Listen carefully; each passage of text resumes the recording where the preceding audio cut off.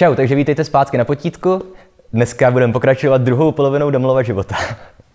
takže my jsme skončili teprve někdy v roce 1916. Popsal jsem ve stručnosti ty čtyři Demlovy knihy. Ne, že by nic jiného nenapsal do té doby. Jak jsem říkal, to jeho dílo bylo strašně moc rozsáhlé a nemáme ani náznakem čas na to, aby jsme se probírali jednotlivými knížkami. Takže vybírám fakt jenom ty nejdůležitější. On v těch desátých letech, kdy vznikly Hrad a tanec smrti, mý přátelé a Miriam, tak Deml ještě nebyl moc známý. Konec konců tenkrát, že probíhala první světová válka, lidi měli dost jiných starostí. No ale potom ve 20. letech už Deml se pomalu, ale jistě začal stávat výraznou básnickou osobností toho českého literárního prostředí. Jednak se o to zasloužil jeho přítel, literární kritik František Xaver Šelda, který neustále upozorňoval na to, že Demla je potřeba číst a je potřeba ignorovat ten fakt, že on nestojí o nějakou zpětnou vazbu, ale že přesto je potřeba ho neustále propagovat. A pak se objevila taky skupina mladých katolicky orientovaných literárních vědců a spisovatelů, která se v roce 1927 sešla v časopise Tvar. To byli především literární vědci Bedřich Fučík a Miloš Dvořák a taky spisovatelé, básníci Jan Zahradníček a Jan Čep. O těch si rozhodně budeme povídat příště. A možná na to taky nevystačí jedna epizoda.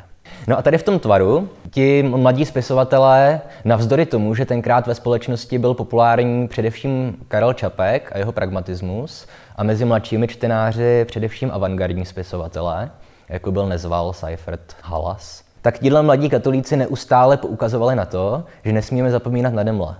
Že Demle je stejně významnou součástí české literatury, jako byl Mácha nebo Neruda nebo Zeyer. A díky nim především Deml se opět vrátil, řekněme, do centra pozornosti té české literární skupiny. Nicméně tohle se mělo bohužel brzy změnit. Já jsem minule mluvil o Demlově komplikované povaze. No na konci 20. let zemřel básník Otokar Březina, což byla jedna z nejvýznamnějších autorit a nejvýznamnějších osobností. A jak jsem říkal, Deml byl jeho dobrý přítel. A krátce po Březinově smrti vydal mamutí paměti mé svědectví o Otokaru Březinovi. Opět použil jsem slovo paměti, ale to je strašně zjednodušené. Je to opět koláž všech možných postupů a básnických prostředků. No a zatímco zbytek národa vnímal toho Březinu zidealizovaně, jako toho básníka, toho barda. Deml ho představil jako člověka se všemi jeho neřestmi. Dodnes nevíme, nakolik je to, co píše o Demlovi autentické, nakolik si to přibarvil podle vlastních názorů. Především byl problém v tom, že on Deml vylíčil Březinu jako velkého antisemitu. Pravda je, že sám Deml taky nesnášel židy. I k tomu se vrátíme. A na základě tohohle, a nejenom toho, najednou Demla potkala velká rána, protože ho odmítli všichni jeho přátelé, Šalda i kritici kolem tvaru se s ním de facto přestali bavit kvůli tomuhle svědectví o Tokaru Březinovi. Do toho zemřela v roce 1942 jeho dlouholetá přítelkyně Pavla Ketlicová. Ona žila s Demlem v Tasově, ona mu dělala služku, ale taky nakladatelku. Vydávala jeho knížky a sama byla svébytná spisovatelka. Dneska už ji zná málo kdo, ale její knížky taky stojí za přečtení. A v tu chvíli najednou Deml se ocitnul úplně na okraji společnosti. Celá společnost dávala najevo, že jim opovrhuje a jeho bývalí přátelé ho opustili. Paradoxně jediný, kdo se ho zastal, byl jeho úhlavní nepřítel Karel Čapek, který potvrdil tu autenticitu některých březinových výroků.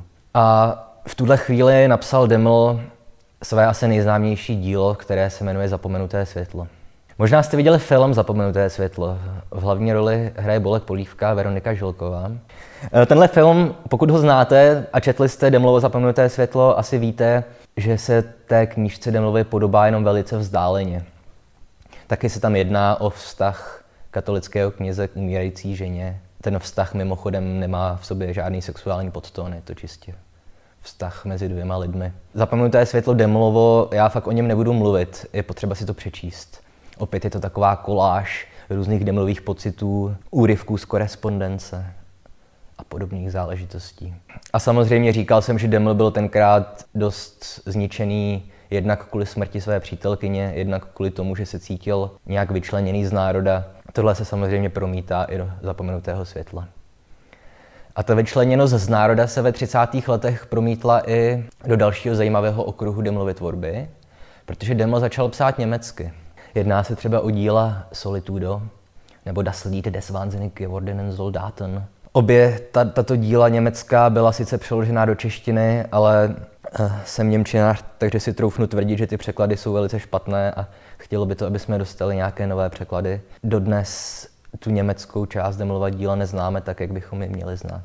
No, mluvil jsem o Demlově antisemitismu. On je třeba autorem výroku, pokud ti někdo řekne, že žít je také člověk, hned mu vyraž čtyři zuby. Tohle je pravda, nedá se s tím nic dělat.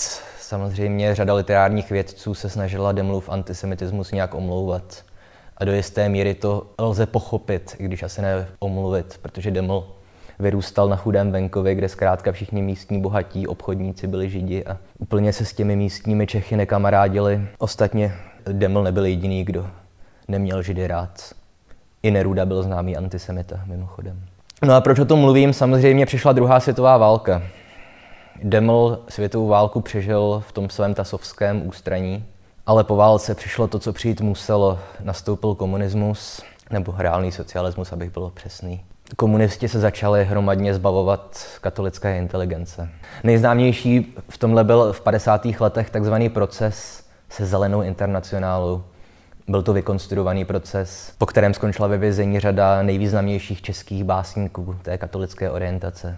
Ať už to byl Bedřich Fučík nebo Jan Zahradníček.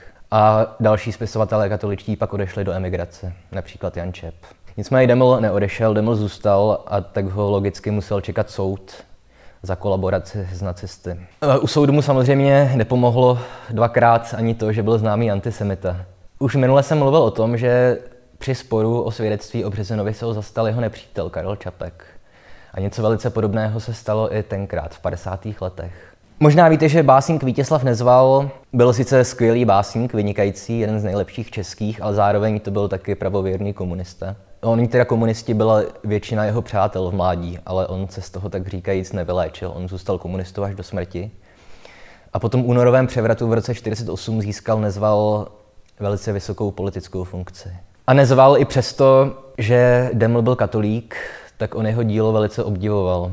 Když byl velice mladý, nezval, když mu bylo 18 let a psal do jednoho studentského časopisu na gymnáziu. Jedna vůbec z jeho prvních publikovaných básní v proze, nezvalových se jmenovala Jak ke mně zahovořila příroda.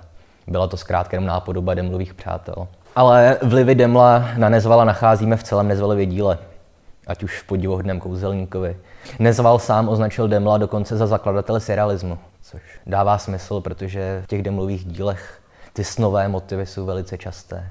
Nějaké fantazie, skoro až fantasmagorie. No a jako Deus ex machina najednou Deml stála před lidovým soudem a zjevil se vrchní komunista Nezval a prohlásil, dělejte si, co chcete, ale na mistra Demla nešáhnete. Tak ten lidový soud Demla skutečně osvobodil. Pravda je, že Nezval v životě udělal hodně věcí, na které asi nemohl být hrdý, ale Demla zachránil. Pro zajímavost o mnoho let později napsal další básník spirituálně orientovaný, Ladislav Dvořák, takovou dvojbáseň. Ta dvojbáseň se jmenuje Vítězslav nezval hájí Jakuba Demla před lidovým soudem. Druhá část té básně se jmenuje Jakub Deml hájí Vítězslava nezvala před božím soudem. Po tomhle procesu, kdy byl teda Deml osvobozen, tak už se stáhnul do ústraní do Tasova a spíš jenom dožíval. Samozřejmě tvořil dál, ale ta díla z 50. let už nejsou natolik významná. Co bych řekl závěrem? Asi bych si vypůjčil citát od míra z Trávníčka. Ten citát je určený někomu jinému, ale sedí i na Demla. A sice, že Jakub Deml byl velký, dobrý a nesnadný člověk. Ale co taky máme dělat se snadnými básníky? Takže tolik bylo k Demlovi a příště už se pustíme do avantgardy. Omlouvám se, avantgarda je mé oblíbené téma, takže u ní zřejmě strávíme několik málo desítek minut.